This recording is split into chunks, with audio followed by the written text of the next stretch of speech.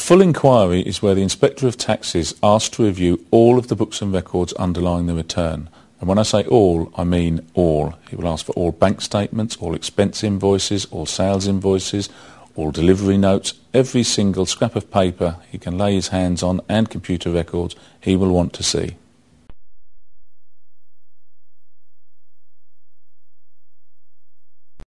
An aspect inquiry is where the Inland Revenue launch an inquiry asking for information on one or more aspects of a return. This may or may not consist of documentation being supplied, but it will fall short of all books and records. But it can be very, very detailed and very, very time consuming.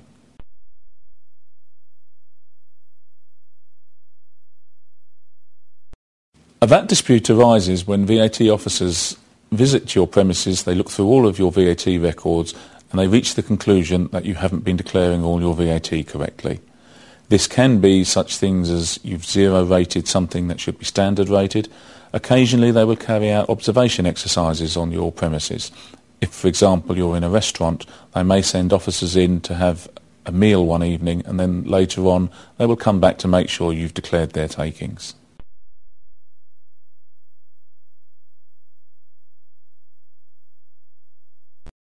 IR35 disputes are interesting. The revenue are attacking one-man service companies. Now, a one-man service company is a limited company with only one employee, and he provides his services to a contractor. And what the IR35 provisions say is that if that individual would be considered an employee of the company or of the contractor, then they want more tax out of him. You are caught under the IR35 provisions.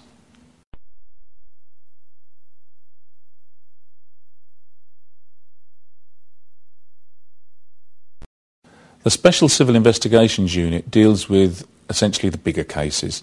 The bigger technical issues will be dealt with there where there's a great deal of tax at stake and also the potential serious fraud. If you receive a letter or a client receives a letter with a Code of Practice 9 booklet, they're in trouble and they need professional help now.